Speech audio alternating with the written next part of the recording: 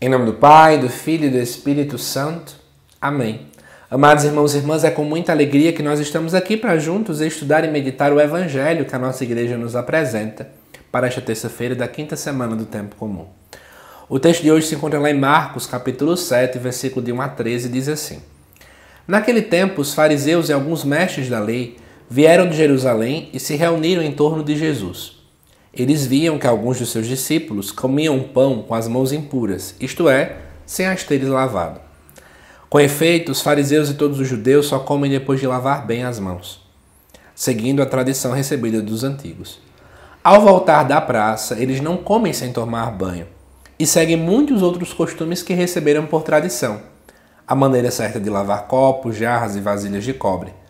Os fariseus e os mestres da lei perguntaram então a Jesus: por que os teus discípulos não seguem a tradição dos antigos, mas comem um pão sem lavar as mãos?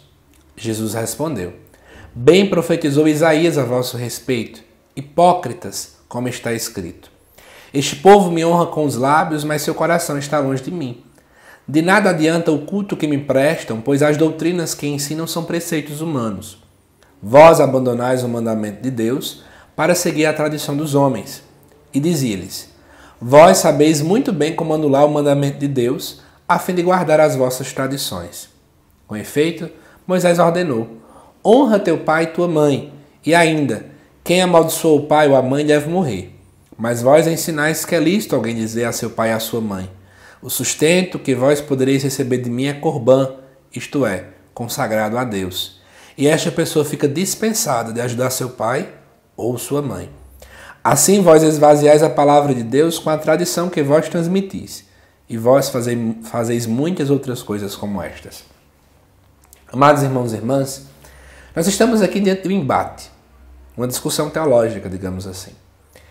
Jesus está diante dos fariseus e de alguns mestres da lei, os quais eram lideranças religiosas daquele tempo. Os líderes religiosos davam muito trabalho para Jesus. Qual é o grande questionamento? Eles jamais entrariam em casa para comer sem tomar um banho, sem lavar bem as mãos, porque eles poderiam ter tido contato com pessoas impuras. Quando eu falo de pessoas impuras, não é apenas uma doença, que até que faz certo sentido. Por exemplo, dentro da Covid, a gente usava álcool em gel com medo de se contaminar e também ter a Covid. Mas aqui ele está falando da impureza, até impureza em relação à questão de pecado. Então, ninguém queria ter contato com uma mulher que tivesse menstruada, alguém que fosse leproso, não é nem que a lepra pudesse pegar em você, mas é porque aquela pessoa era amaldiçoada. Então tem uma certa compreensão interior de que nós somos superiores e que aquela pessoa é uma pessoa amaldiçoada. Eu não devo ter um contato tão grande com alguém assim. E aí o que acontece? Eles questionam porque os discípulos de Jesus não seguem isso. Note que essa dinâmica de lavar as mãos não estava escrito na Bíblia. Na verdade, era uma tradição com T minúsculo, que era passado de boca em boca entre os fariseus. Eles tinham aquilo que nós costumamos chamar na teologia de uma certa, de uma certa Torá oral, ou seja, uma Bíblia oral, que muitas e muitas vezes ela estava acima dos próprios escritos sagrados que eles tinham. E o que acontece? Partindo disso, né, eles questionam Jesus porque eles não seguem as tradições dos antigos.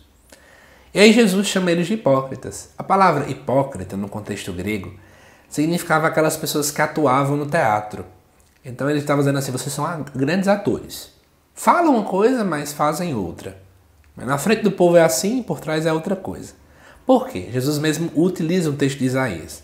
Vocês honram com os lábios, mas o coração está longe. Vocês cultuam a Deus, mas o que vocês estão ensinando são coisas apenas humanas. E aí Jesus mostra um exemplo. Um dos mandamentos que se existe é o de honrar pai e mãe. Eu quero te explicar o contexto desse mandamento. Esse mandamento existe exatamente porque os pais e mães iam ficando muito velhos e muitas vezes, naquele contexto do Antigo Testamento, os filhos não cuidavam, não zelavam dos pais. E aí, esse mandamento vem justamente diante disso. Honrar o pai e mãe é justamente o quê? Dar dignidade nos seus últimos dias, não é, não é usufruir dos bens dos pais e não também ajudá-los. Vamos pensar no hoje. Roubar a aposentadoria dos pais, roubar os terrenos dos pais e por aí vai. Então, não é nada coerente. E aí, o que é que Jesus diz? Ó, mas vocês fazem o quê? Vocês dizem que é coerente chegar e dizer assim, ó, o sustento que vós podereis receber de mim é corban, ou seja, eu não posso dar a vocês, eu não posso sustentar a vocês porque isso é algo consagrado ao Senhor. Então, em outras palavras, eu não cuido de vocês porque isso é de Deus e eu não posso dar a ninguém. Gente, é muito similar, é muito, mas muito similar à realidade que a gente vive hoje. É muita gente passando fome. É muita gente né, sem ter o que comer. E muitas vezes a gente diz assim: não, isso aqui eu não posso dar, foi Deus que me deu, eu não posso ofertar ao outro, eu não posso partilhar com o outro, e por aí vai. O que os fariseus e os escribas estavam fazendo era exercendo o egoísmo. Quantas vezes nós somos egoístas? Colocamos em primeiro, segundo, terceiro, quarto, quinto lugar somente eu, eu, eu e eu. Amados irmãos e irmãs, aprendamos com Cristo a esvaziar-se de si mesmo a dar-se sem esperar nada em troca. Que nós possamos, amados irmãos e irmãs, compreender que a vontade de Deus ela precisa estar em primeiro lugar. Não sejamos hipócritas como os fariseus e os escribas. Não sejamos pessoas que têm uma pose bonita, usamos uma máscara bonita, mas no fundo a gente não ama a Deus de todo o coração. Que Deus te abençoe. Eu te aguardo nos próximos vídeos aqui do canal. Até mais.